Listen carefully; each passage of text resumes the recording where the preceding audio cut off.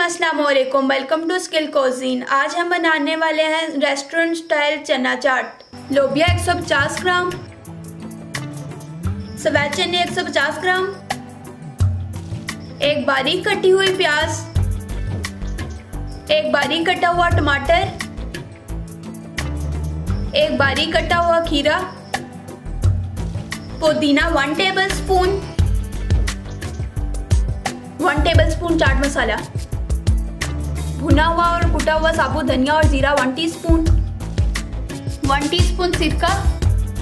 One teaspoon soya sauce नमक हसबे जायका. वन टीस्पून ऑलिव ऑयल अब तमाम अज्जा को अच्छी तरह मिक्स करेंगे।